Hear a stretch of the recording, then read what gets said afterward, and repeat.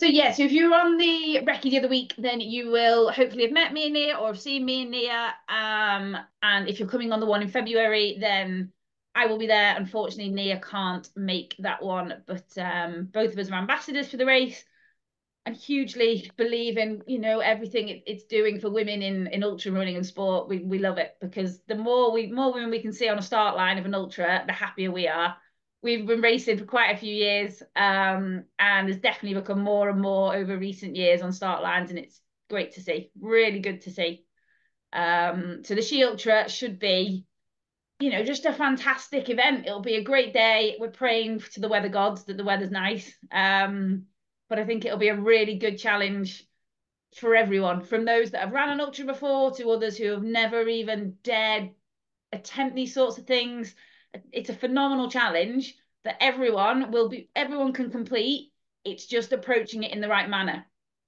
And one of the most important things element of that is your nutrition. So what we wanted to do was just bring as many of sort of you guys on as possible to just run through um, the nutrition side of endurance running because the truth is you can be as fit as you like you can do all the training in the world but if you don't get your nutrition right that can be an absolute end of your game anyway. You know the best runners in the world they do all the training they are super fit you see them on the tv but they can get their nutrition wrong as well. And believe me they do. Some of the best runners in the world get their nutrition wrong in these races and it ends their race. So it's a really important aspect um, and with the race less than it's less than 12 weeks now, the event. So it's now time to be starting to think about your nutrition because I'm sure, well, hopefully now you're starting to do those longer walks, longer runs that are taking you over that two, three hour mark. And you should really be thinking about the nutrition side of it and how you're going to fuel the before, during, and after these training sessions. So Nia and I are going to take you just, we're just going to keep it simple there's no, we're not going into the depths of it. Um, we don't want to get into the science and the nitty gritty of it all. You know, you can you can go online and find out all you need to know about nutrition if you want, or you can contact a nutritionist. Nia and I are not nutritionists. We do have Susanna on with us, who, if you have got any questions, she in the Q and A bit will hopefully be able to answer that for you. Um, but we are more keeping it simple from a racing perspective um, and just looking at nutrition as a whole and why it is so important for you for in this ultra event. Uh, and we're just going to try and keep it quite simple because I appreciate some of you probably know a lot and some of you might not know a lot. So if we just keep it nice and simple for this um, for this webinar, if there's any questions at, at the end, what we're going to say is there's a chat feature on Zoom. So if you've got any questions, please pop them in that chat feature as we go along. And then when we get to the end, we'll run through those questions and answer them the best we can. Uh, rather than jumping in with questions on the way through, we'll just do them all at the end. Uh, so I think we're gonna, if we jump straight in, and then we can, um, like I said, take any questions right at the end. So put putting nutrition simply is you've got your main food groups. So you've got your carbohydrates, your proteins, your fats, vit uh, vitamins, minerals, water, and fiber. And in variable amounts, these make up a balanced diet, as I'm sure you all know. But so during an endurance event, such as an ultra, and during training, so during your long training runs, we need to create this balance. However, to create it, we have to vary those elements from your normal daily intake. Um, and then I'm going to hand over to Nia, who's going to talk a bit more about those carbohydrates. Okay, so there's lots of different um, parts of the diet. There's fats, there's protein and carbohydrates. Probably the three main energy groups. And you can get energy from all three of those sources. But when we're doing a bit more walking or running or activity, preparing for something big like an ultra, and when we're actually running or walking the whole day for a few hours, um, however long it's going to take us, um, we need a lot more calories than we normally do. And one of the easiest ways to get calories is in carbohydrates. Um, so carbs are really, really important for um, anybody who's active. Um, you need more calories when you're active, so you need more carbs to fuel your body. And you can think of carbs a bit like petrol for your car. So you need fuel for your car, and the carbohydrate is like petrol going into your body to fuel your muscles um, so that they can work and function properly. Um, the other thing that carbs also do, um, as well as your muscles, they fuel um, your your brain, your sort of neurotransmitters.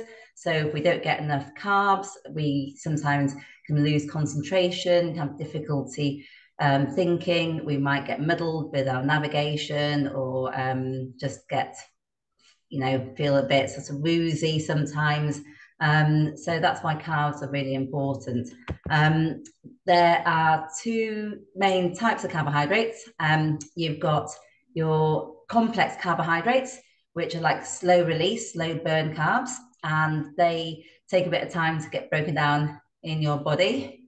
Um, I don't know where Zoe's gone. Um, and uh, they're things like um, bread, pasta, banana, rice, um, oats, um, like getting flapjack and that sort of thing. That's complex carbohydrates. Um, and then you've also got your simple carbohydrates, which are like um, fast release, instant sugar, instant carbohydrate energy. So all the carbs get broken down to sugar, and that's what your body uses. So simple carbohydrates, you need those as well. And when you're out for a whole day running or walking, and they're things like um, jelly babies, a gel, um, something sugary, some chocolate, um, those sorts of very sweet things that release sugar really quickly. So fruit would also go into there as like some grapes, um, or what else do people use? Um, can't think at the moment, but um, yeah, Haribo maybe or jelly babies.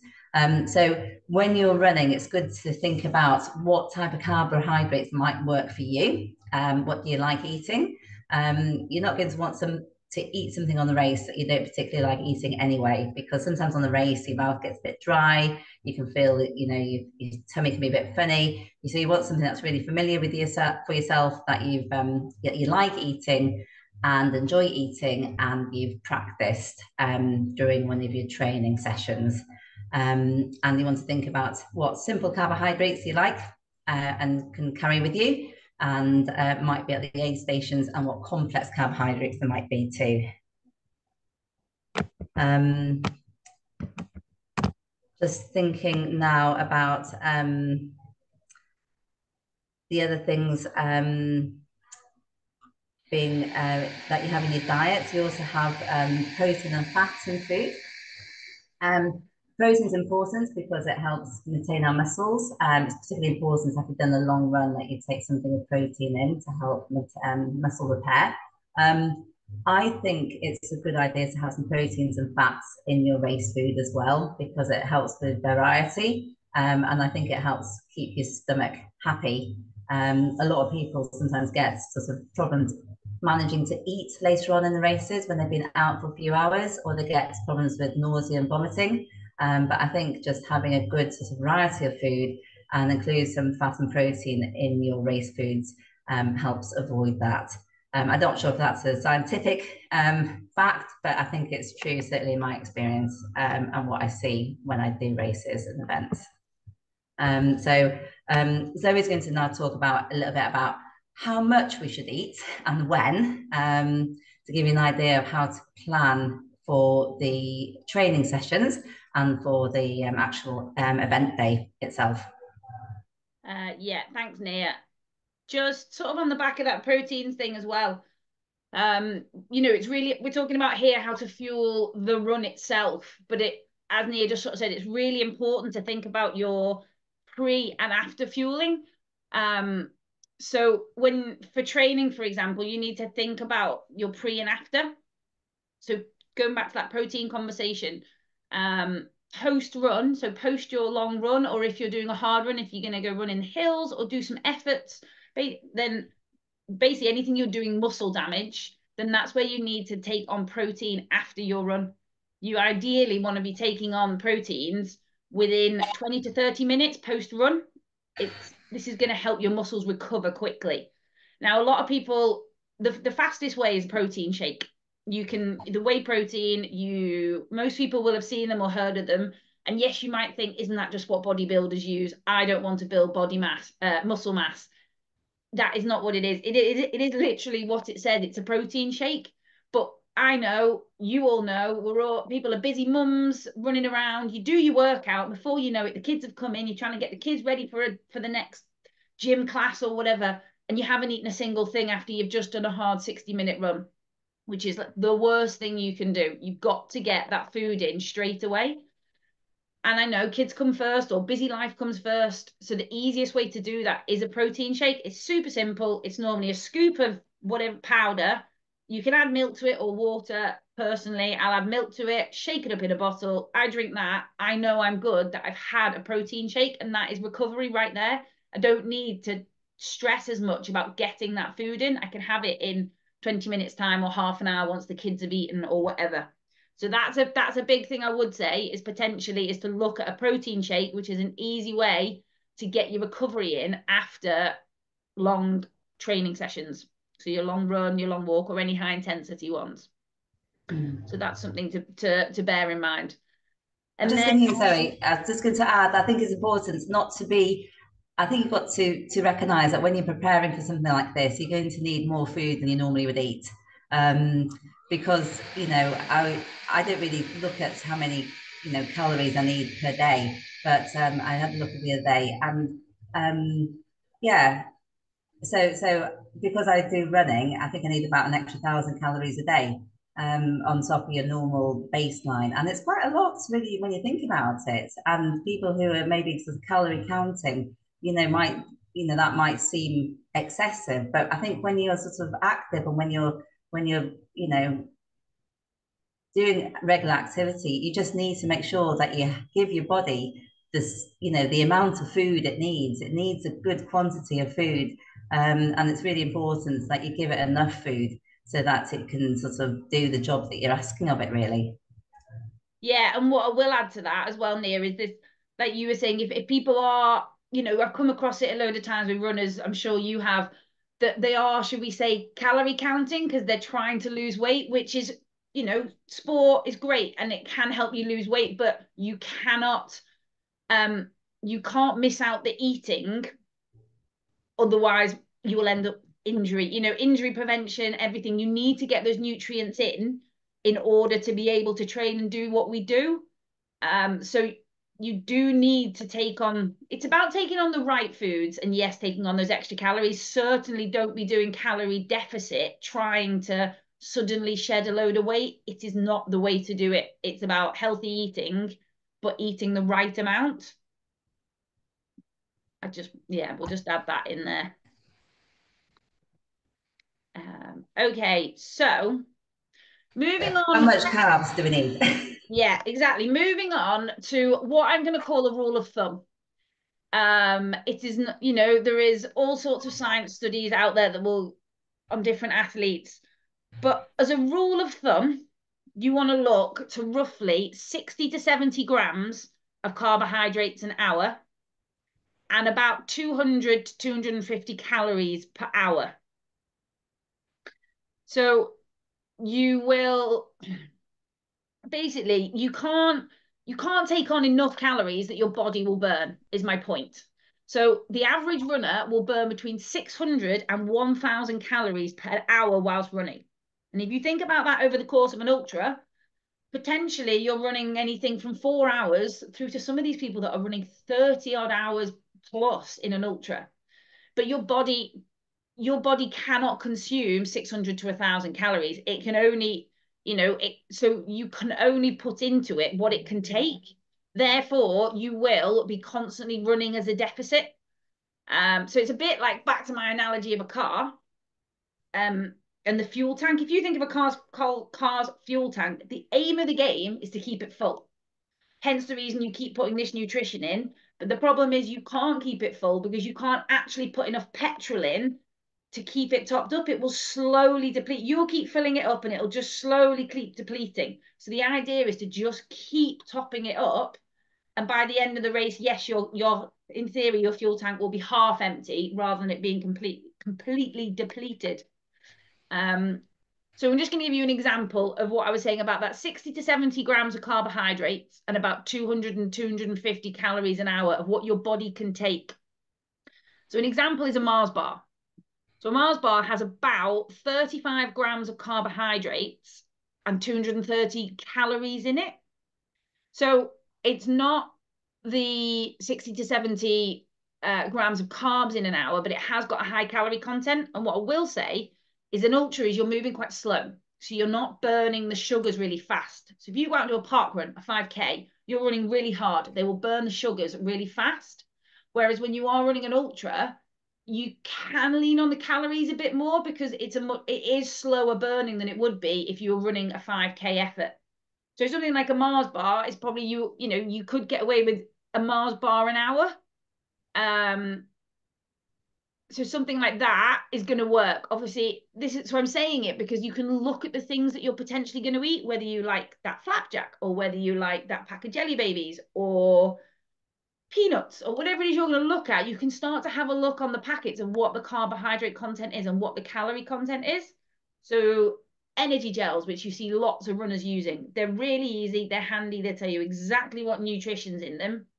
I'm just I just picked one up that was an example of a brand I use called Torq and that has 115 calories in it and 30 grams of carbs. So if you were going to fuel it on gels, it's quite an easy rule of thumb. You need two gels per hour every hour. That gives me the um, 60 grams of carbohydrates and gives me 230 calories.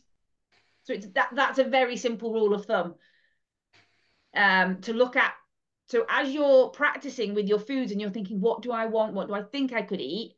If you start to look at these calories and carbohydrate content, all the packets should have it on. You can start to work out this, work out what the food that you're choosing is actually containing.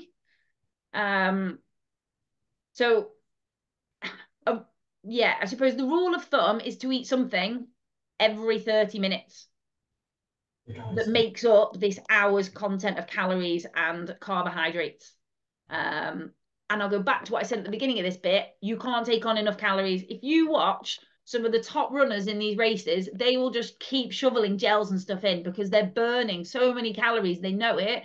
They will, but you it takes years to train your gut to get there. So we're starting at the point of where you need to begin, which is what I'd say is something every 30 minutes to equal about the 60 to 70 grams and 200 to 250 calories. And a tip is if you've got a Garmin or your phone, you can set it literally on a 30 minute set that it'll just beep. It's like a nutrition reminder. And it literally will beep and you go, oh, I need to eat something, be it a gel, a flapjack, or whatever it is that you're choosing to eat. But it's a little reminder when you're five, six hours into the event that you're going, oh, I don't really feel like eating. Oh, beep. Oh, yeah, I need to eat something. It's just a constant reminder that you need to take something on. Uh, okay. So that is basically covering that's covering the rule of thumb for nutrition on the eating side of things. And then, oh, a quick tip that I wanted to say to you is take some empty sandwich bags in your run pack. Uh, because when you get to an aid station, you can put stuff in it. So you can put, I don't know, sweet stuff in one, and you can put some peanuts and crisps and sandwiches in another. You don't have to stand at the aid station and eat the food. You can put it in your little bags and then walk off. Because if you're walking and eating, you're ticking off the miles. So moving is good. So you don't need to spend half an hour eating at an aid station. Pick a few bits up, put them in the bag, and off you go. That was just a little bit that I yeah. wanted to add. I like to take a sandwich bag and then um, I might not eat it straight away, but then if I get to a hilly bit where I'm going to be walking anyway, and getting a bit of a breather, then I'll have my some I have some food then because it's much easier to eat when you're sort of walking up a bit of a hill. And then um yeah, once I get to a little bit of flatter bit where I think, oh, maybe I can jog this bit, I put my sandwich bag, stuff it back in my bag, and I have a bit later on when I'm walking again. So um, that's a handy, handy thing to do, really. And you can even make like a mixed picnic bag, grab a few different things, and then you put your hand in. You never know what you're going to get but uh but yeah they're really handy for that definitely um so that ticks off the food side of things and then the fluid fluid is your hydration is basically um well again i'm going with a rule of thumb So a lot of these running packs have the soft flask bottles in the front, or you might have a bladder in your back, um, in the back of your pack, depending. What I would say is those soft flasks are brilliant because you can see what you're drinking. The bladder, you never quite know what you're drinking. I know myself, I've been drinking a bladder, thought I've drank loads of it. You get home, you look in your pack and you go, oh God, I've barely drank anything. So, it, so at least the soft flasks that sit here, you know how much exactly you're drinking. Um, in terms of how much, I would say as a rule of thumb, 500 mil, one of those soft flask bottles is a 500 mil bottle. If you to drink one of those per hour is is what as a general rule now it depends on the weather. If it's super hot, you could be going up to a liter an hour, which is two of those bottles. Um, and again, in much colder temperatures, some of you may just see in the spine race that was going on where they're in freezing temperatures. You know, I've chatted to people who who race that and they really aren't taking on that much fluid because you're not sweating. So basically, it's replenishing the fluids that you are sweating out. So hand in hand with that is your salt. When you sweat, as I'm sure you'll know, you sweat out salt as well. And we need to replace those salts um, in order for your body to be able to absorb the water that you're putting into it. And so what you might have what you might have heard of is electrolyte tablets. You can get them, they're just literally tabs. Um, they you get them in a tube, SIS, lots of brands do them, but they are just tabs that go into your water bottle. So at the aid station, you can fill your water bottles up, put another tab in, and this contains all your electrolytes and salts that you need, salts and minerals to top your top you back up. Going back to that very initial um, thing we said about finding that balance um, of all your nutrients, this is part of it. So if you can keep your salt levels topped up, your water will be absorbed into you. If you lose all your salt, so what you'll find is if your salt levels drop, you'll be weeing lots because your body literally can't. You can be drinking lots of water, but your body won't absorb those salts. So by keeping those electrolytes going through you, your body is finding that balance of topping up the salts and being able to absorb that water. So my tip is in the event, if you're suddenly finding yourself like, I need to wee every half an hour, when you get to the next aid station, eat a lot of salty food. Find the crisps and what eat a lot of salt because by by bringing those salt levels back up, you'll be able to do the water um, absorption again. Uh, so that is just a little bit of a hint and a rule of thumb with hydration. Uh, and okay, and then Nia is going to do a little about, bit about trial and error.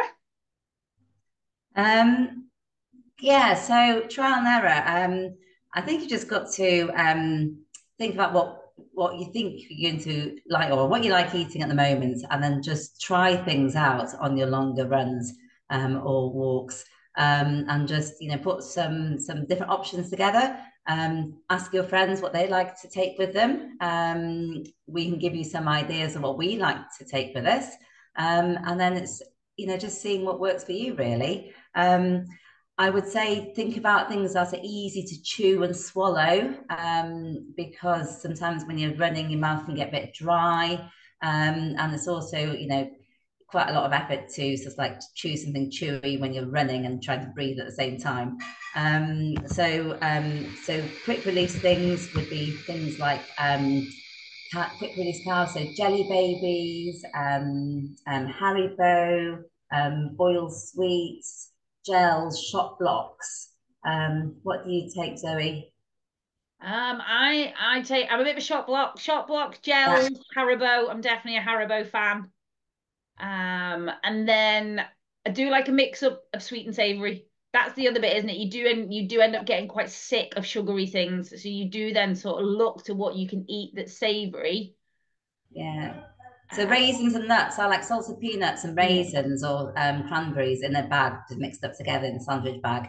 And that's sort of salty and sweet. So there's sort of fats in there. There's quite a lot of carbs because peanuts are high in carbs and Sometimes you can get the salsa cashew nuts, they're quite good.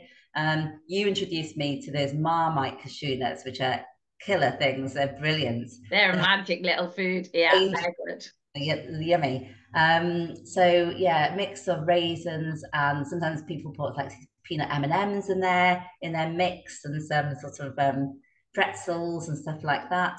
Um, and then sort of more complex foods. Um, Um, you can take sandwiches. Um, I like sandwiches when I'm running a long thing um, because they're they they pack well. Um, you put any sort of filling you like. So I quite like peanut butter and jam, or just jam brechdan, um, or um, marmite and hummus is quite good. What do you have in your sandwiches, Zoe? Uh, I'm a bit of well, I'm quite happy with whatever's at the aid station. Generally, at the aid stations, you'll get sandwiches. So for me, it's a grab whatever there. If there's a cheese, I'm a bit of a cheese and pickle grabber, or I will grab a ham and cheese sandwich. I'm not too fussed, but yeah, if there's a sandwich, gem- and another aid stations generally is where I'll grab real food. So aid, and then in between is where I quite like to use the gels and the shot blocks and the bits and bobs. But at the aid stations is where I will grab the real food, sort of.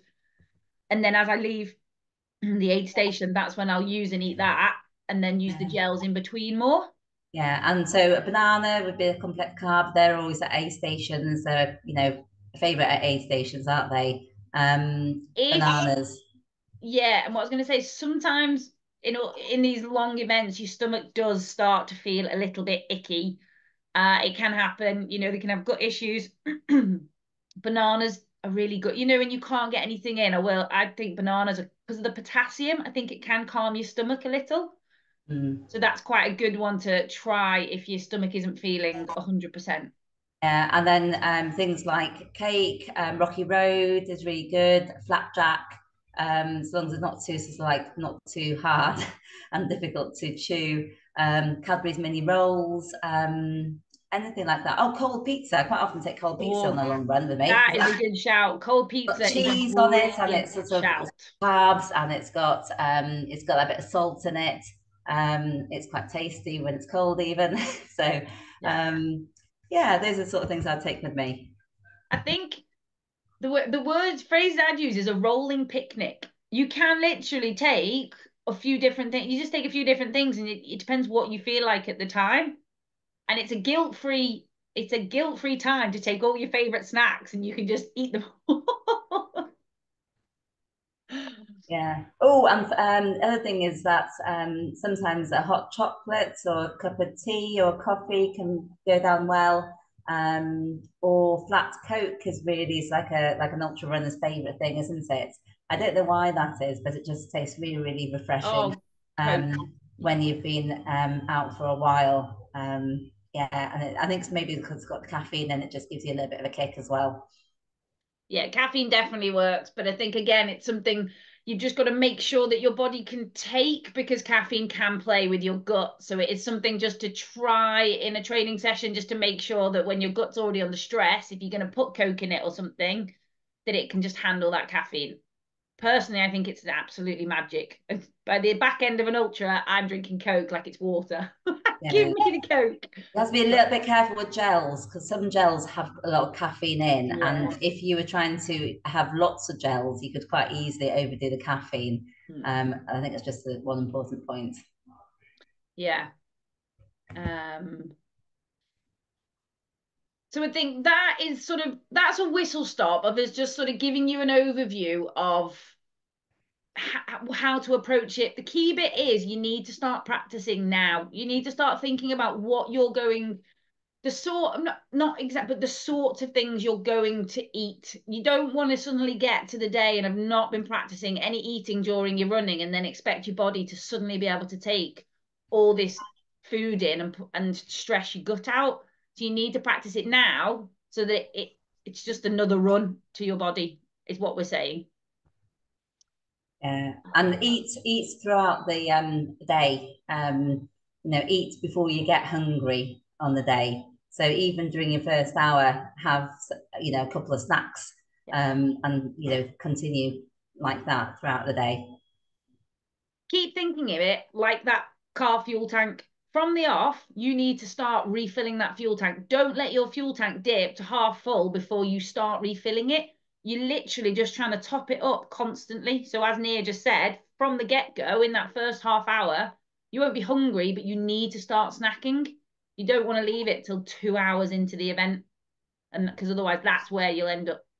You'll have heard people use the phrase bonking or hit the wall. And that literally just means that they've run out of carbohydrate. You see it on the marathon on the TV and stuff, and they're running and then they just run out of energy. They literally have just run out of carbohydrate. The body has nothing left to burn. So it just hits the wall. And that's what hitting the wall or bonking is. And you don't want to do that.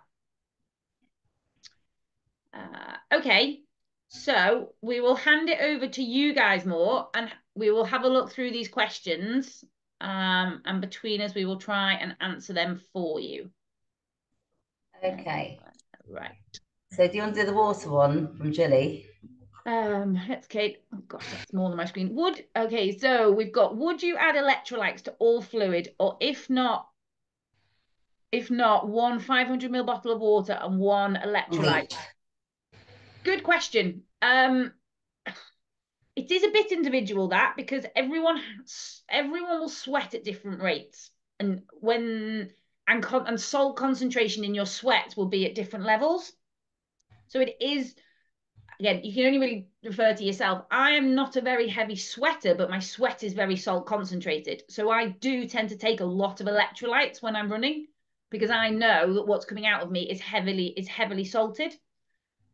What I would say is if you've got a if my answer is yes in simple terms. Yes, it, put electrolytes in both your bottles is, is sort of my general answer. But my but is your stomach might you might get to the point where you just don't want to drink electric. You know, you might be like, oh God, I just don't want to. And that's when I would say, yes, alternate them water and electrolytes because the water is just plain, easy to drink, but you do want to keep topping up those electrolytes. So yes, fundamentally, both of them have electrolytes in, but if you just find it a bit sickly or you don't want it, then one water, one electrolytes, and just keep swapping between them. That's what I would say. What's next? Okay. Um, so Karen's asking, do you know what will be available at the aid stations? Well, we haven't heard. That, I know there's a massive variety. In yeah. all sort of their events, there is there's a huge variety, isn't there? Yeah, there will be bananas, jelly babies, um, Haribo, crisps, salted peanuts, um, flapjacks, some cakes, biscuits. There will be some sandwiches. Um, I know you had said it'll cater for vegans, vegetarians. So that's that's being covered as well. That's definitely being covered. I'm just seeing the next one down that says I have an allergen. How do I get food to each aid station? If you have a specific allergen, I would just email the race and either liaise with Hugh in getting a little package delivered to eat. He'll be able to arrange that, or he'll say, well, say uh, if you're celiac or something, he'll go, we have stuff catered for that.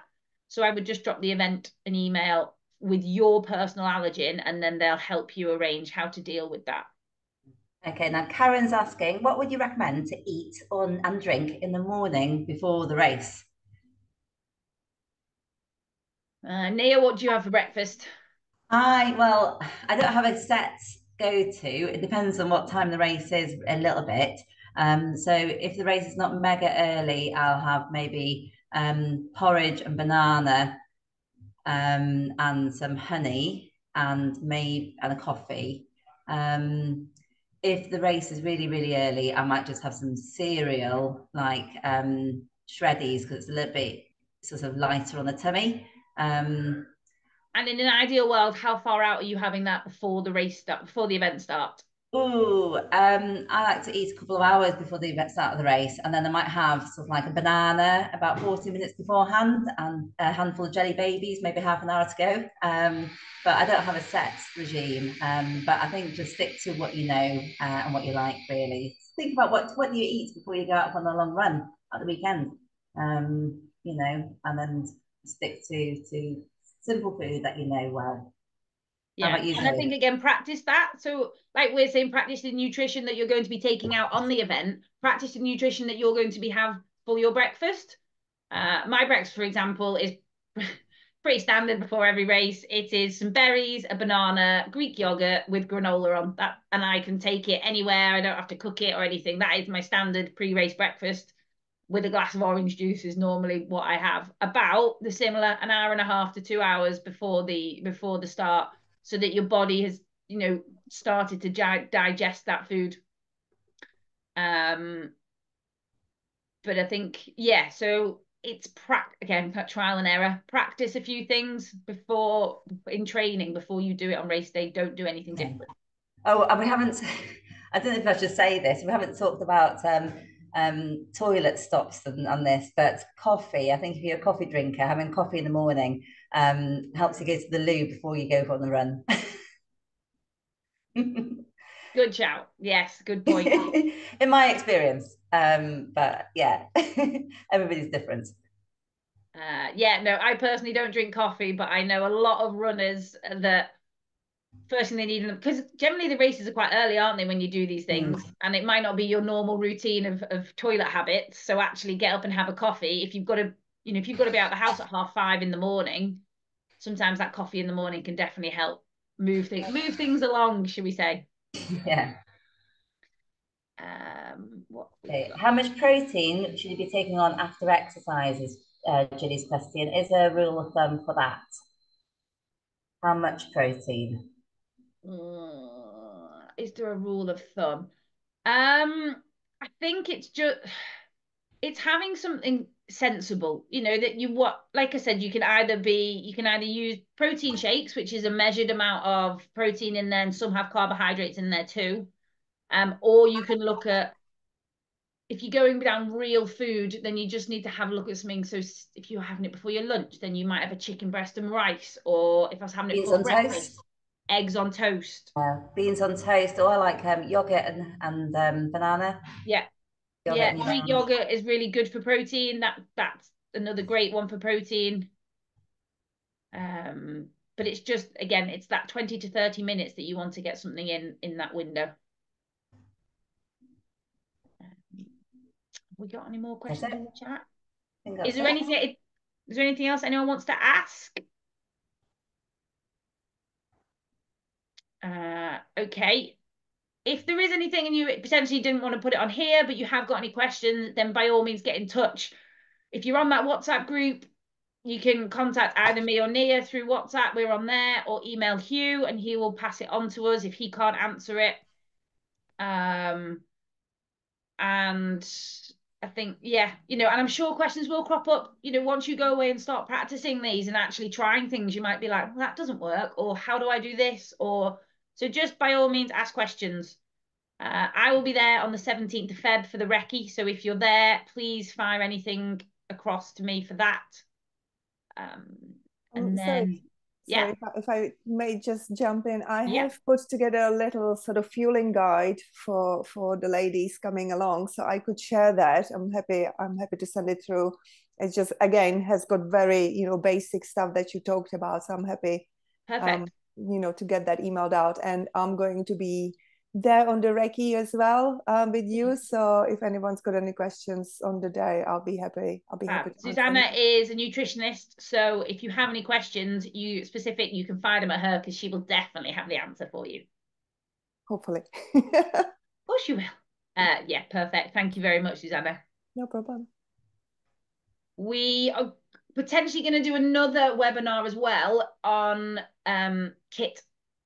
Me and Nia, uh, Nia and I both think that that's really important, but there's quite a lot of just again tips, hints, uh, things that people probably won't have thought of because you've never had to be out on your feet for this length of time what to carry, how to carry it, etc. So we are going to organise another webinar on that. We just need to get a date sorted, but you will be emailed out with that as well. Um, this webinar has been recorded, so if there's anyone you know that hasn't been able to be on it this evening but wants to catch up, they'll be able to see that on YouTube. I'm sure Hugh, again, will put a link out to that so they can catch up on that at a later date. Uh, and otherwise, hopefully, see lots of you on the 17th for us to recce some of the miles along the course. But um, Nia, have you got anything to add? No, no, I think that's it. Um, so yeah, really looking forward to um, yeah, looking forward to the day. I'm really excited actually. Um, it's going to be amazing. Brilliant. All right. Well, thank you everyone for jumping on. I hope you all have a lovely evening and uh, hopefully see you on the 17th. All right. Bye, bye guys.